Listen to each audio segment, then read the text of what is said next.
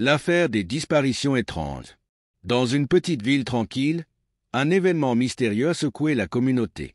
Plusieurs habitants avaient disparu sans laisser de traces, suscitant l'inquiétude et la curiosité des enquêteurs.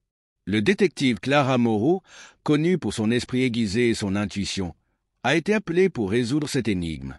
Le début de l'enquête. Tout a commencé par la disparition de Louise, une bibliothécaire passionnée. Ses collègues avaient remarqué qu'elle ne venait plus travailler depuis une semaine. Les recherches dans son appartement n'ont révélé que des indices troublants. Un livre ouvert sur la table, des notes griffonnées et une carte de la ville avec des emplacements marqués. Clara a interrogé ses amis et sa famille, mais personne ne savait où elle pouvait être. Les autres disparitions ont suivi un jeune artiste, un ancien militaire et une enseignante. Tous avaient un point commun, une passion pour l'art et la culture locale. L'indice clé.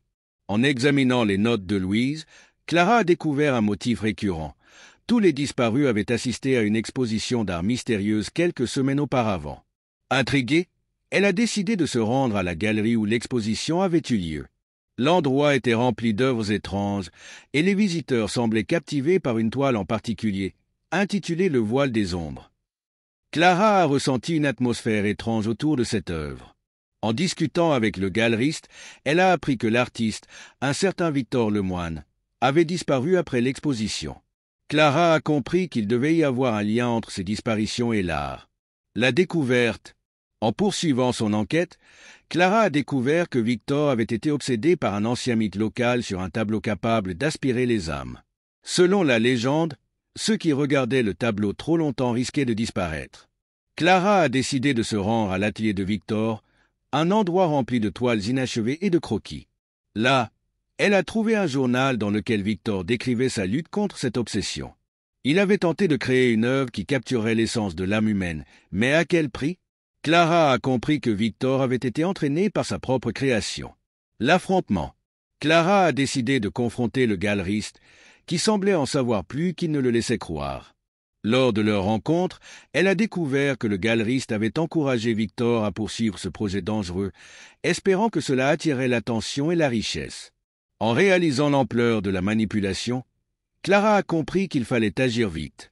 Ensemble avec la police, Clara a organisé une descente à la galerie. Ils ont retrouvé les disparus dans une pièce secrète, hypnotisés par le tableau. Grâce à un plan astucieux, Clara a réussi à les libérer en détruisant la toile. La conclusion Une fois sauvés, les disparus ont raconté leurs expériences. Ils avaient été piégés par la beauté envoûtante de l'heure, incapables de se détacher de son charme.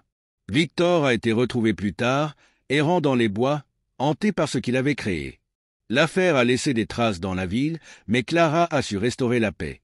Elle a compris que l'art, tout en étant une source d'inspiration, pouvait aussi devenir un piège mortel si l'on y prenait garde. Ainsi, la ville a appris à apprécier l'art, mais avec prudence, se rappelant toujours l'histoire des disparitions étranges. Thanks for watching. Don't forget to like, comment, share, and subscribe.